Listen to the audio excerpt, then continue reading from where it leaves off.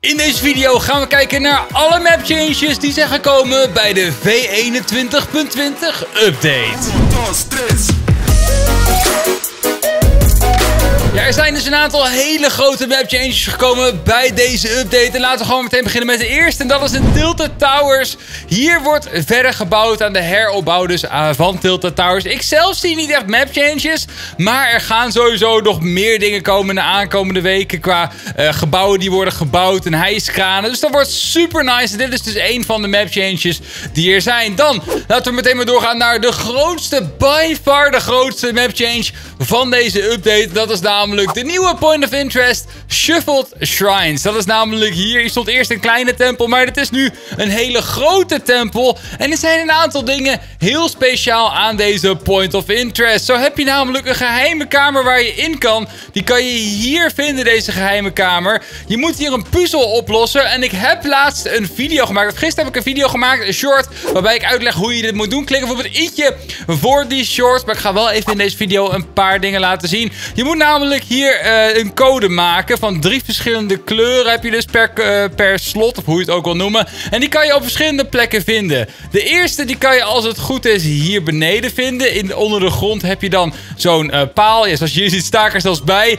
Dit is de eerste, die zit je, weet je dus links onder in de POI. De tweede die kan je links bovenin vinden. Als het goed is hierboven, jawel die vind je hier. Dan hebben we er nog eentje, die kun je een klein stukje verderop vinden onder een tent. Dat is hier, dat is de derde dus. En dan hebben we nog de vierde paal, die kan je hier vinden. En als je deze vier verschillende kleuren invoert, dan, ga, dan maak je dus deze locatie hier open. Dan moet ik even zoeken waar het ook alweer was. Uh, hier zo. En dan gaat deze deur open. Dus laten we voor Gijns eventjes naar voren skippen. Want als het goed is, maak ik hem hier open. Jawel, hier heb ik hem open. En dan zul je zien dat hier allemaal van die, hoe heet die dingen? Van die uh, dart, uh, poison dart traps zijn. En als je dan doorloopt, dan kan je hier een, een mond vinden. En hier vind je zo'n goud dingetje. Zo'n gouden standbeeld, hoe je het ook wil noemen. Laten we eens een klein stukje terugspoelen. Dan zie je hem liggen. Jawel, hier heb je zo'n goud standbeeldje. En als je die pakt, dan activeer je een trap. Namelijk, uh, als je dan weer terugloopt via deze locatie, dan komt er een uh, bal achter je aangevallen. Dat is echt heel erg ziek. Dan hebben we hier nog een geheime loot locatie met daarbij twee epic chesten. Dus het is ook nog eens een hele goede plek om wat loot te krijgen. En eens even kijken of ik kan laten zien hoe dat eruit ziet met die bal. Uh, want die bal die gaat op een gegeven moment naar beneden rollen. En als je daar niet oppast, dan word je gekild. Volgens mij zit ik hier nu nog hier binnen. Ik weet het niet. Maar als je hier dus weg wil lopen, zoals ik hier zo meteen ga doen, dan zul je zien dat de bal achter me aan gaat rollen. Dus hier ben ik. En dan komt er een bal naar beneden. Zoals je ziet. En ik word meteen dood. Oh, het glitcht heel erg hard. heel bijzonder. Maar in ieder geval, deze bal komt dan achter je aangerold. En dan, moet je dus heel erg voor oppassen. Want die maakt je in één hit dood. Dit is de, de nieuwe POI. Ja, ik heb er heel veel over te vertellen. Het is ook een hele leuke plek om een keer naartoe te gaan. Dus ga er ook zeker een keer naartoe. Want ja, je kan hier van alles vinden. Dan gaan we door naar de Truckosaurus. Jawel, hier hebben we de Truckosaurus. Die wordt opgebouwd. Die hadden we natuurlijk in chapter 1 ook al. Hier staat als het goed is ook een truck bij. Letterlijk een truck uh, die als hoofd wordt gemaakt. Maar deze wordt langzamerhand steeds verder opgebouwd. Dus we kunnen waarschijnlijk over een aantal weken de Truckosaurus hier vinden. Dan gaan we door naar Loot Lake. Want in Loot Lake gaat binnenkort wat gebeuren. We hebben hier natuurlijk de Zero Point. Die vinden we hier onder water als het goed is. Jawel, hier is die Zero Point.